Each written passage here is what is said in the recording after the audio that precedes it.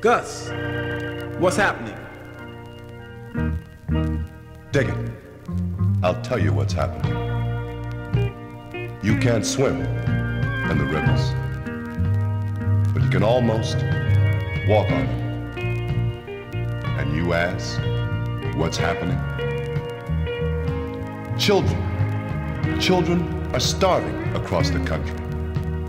And then somebody burns 80,000 pounds of potatoes, and you ask, what's happening? Kids aren't dying from polio anymore. They're dying from heroin. And you can believe that's happening. Rats are biting kids. And they don't care about color. And you ask me what's happening. Well, I'm raising my children to take a person for what he is.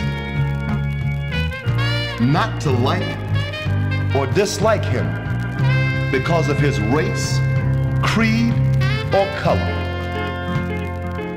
I have to teach them, show them that there is some hope instead of dope.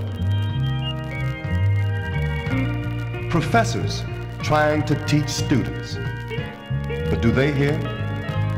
Students trying to teach professors, but do they hear?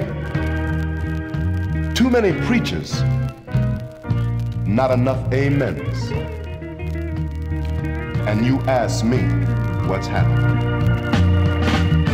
The soldier has fought his war for peace, side by side with his white or black brother, and now must fight for recognition in this world, this world called my country.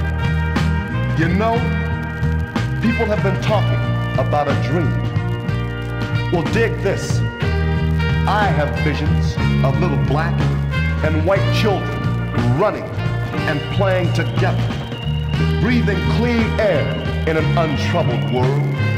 So please, won't you take heed and help the future?